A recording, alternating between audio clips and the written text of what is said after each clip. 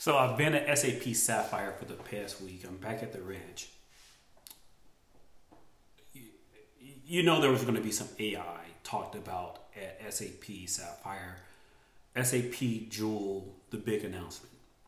Is this the big deal or kind of a Me Too AI opportunity for SAP to be part of the AI conversation? Without a doubt, your ERP, finance, logistics, etc. data alongside of your HR data, your travel and expense data, your CRM, all of that data will be mined by AI.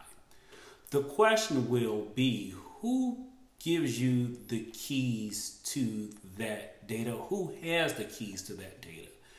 This isn't like the old times where I had to get an SAP HANA expert to pull in all of these data sets, write advanced queries, spend a ton of time engineering to get to these answers and not being agile to ask a question who is my best sales agent in this region of the company based on pay rate travel expenses and what they sell. Like, what's the cost of the thing that they're selling?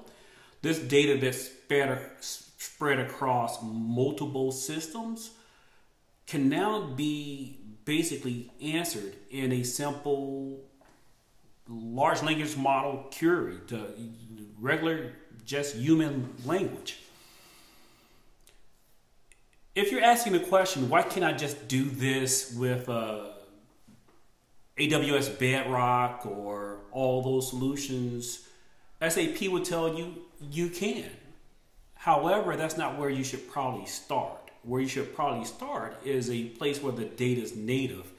And if you're using all of SAP's solutions, SAP Joule is that thing. Create the dashboard create the report, create the ABAP code to have an extension to create an all new application around my SAP data. That's the promise. And then when SAP's LLM can't take you far enough, then you go and you pull in partners from the hub. That's the theory. In practice, you know what? SAP is a little late to the game with a LLM assistant and model. You would think uh, that SAP, the company itself, would be in front of this, but SAP has deep, deep experience around data processes, business processes, their own data, and they have knowledge that these other companies just will take a really long time to get operational knowledge with SAP embedding enterprise architects in these data transformation projects. They just have access to more examples and they're close to the business. So, huge opportunity for SAP.